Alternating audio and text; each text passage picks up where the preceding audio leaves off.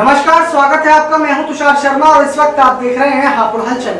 उत्तर प्रदेश के जनपद हापुड़ में उस समय सनसनी फैल गई जब समाचार पत्रों की एजेंसी पर कार्यरत एक हॉकर को सड़क पर सरकारी कार्य कर रही जेसीबी के चालक ने जेसीबी चलाते हुए रौंद दिया। अस्पताल ले जाते समय हॉकर की मौत हो गई।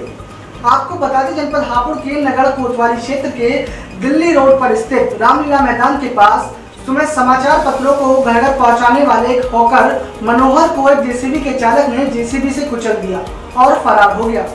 सूचना मिलते ही मौके पर पहुँची पुलिस ने घायल अवस्था में हॉकर मनोहर लाल को सामुदायिक स्वास्थ्य केंद्र में भर्ती कराया, जहाँ डॉक्टरों ने उसे मृत घोषित कर दिया।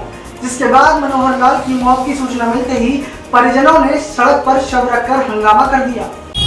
सुनी जी यहाँ जो रामलीला ग्राउंड के बाहर जो ये जाम लग रहा है क्या है पूरा मामला है बताएँगे? एक हमारे गाँव के गाँव सबली के मनोहर मनोहर सूर्य श्री टीकाराम जी हैं। उनका जो टोपलैन है जेसीबी उसके ड्राइवर ने बैग पीछे हटाते वक्त कानों में रीढ़ लगी हुई थी कि सबने आवाज़ मारी नहीं माना।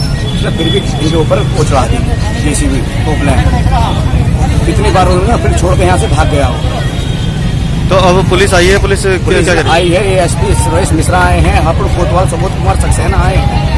उन्होंने कहा है पूरी जो भी हर संभव मत आपकी करेंगे हमारी एफ़ आई आर लिखने के लिए कह दिया है इन्होंने थाने चलो हमारी एफआईआर लिख लेंगे अच्छा जो अब जो यहाँ पे जो भीड़ लग रही है क्या वो मृत हो गए हैं क्या है?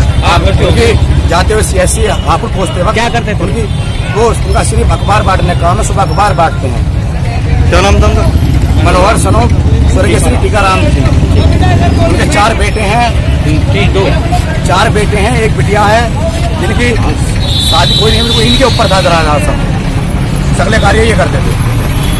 सूचना मिलते ही अपर पुलिस अधीक्षक सर्वेश कुमार मिश्रा बाहरी पुलिस बल के साथ मौके पर पहुँच गए और हंगामा कर रहे परिजनों को कार्रवाई किए जाने का आश्वासन देकर समझाते हुए जाम को खुलवा दिया और शव को अपने कब्जे में लेकर पोस्टमार्टम के लिए भेज दिया।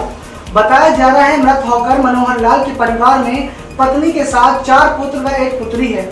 उन सभी का पालन पोषण मृतक मनोहर लाल द्वारा ही किया जाता था। परिवार में और भी कोई आय का साधन नहीं है। अब देखने वाली बात यह है कि दुर्घटना का शिकार होकर मनोहर लाल के परिवार को क्या कोई सरकारी मदद मिल पाएगी या नहीं? ऐसी और खबरों के लिए बने रहिए हमारे साथ और देखते रहिए हापुड़ हलचल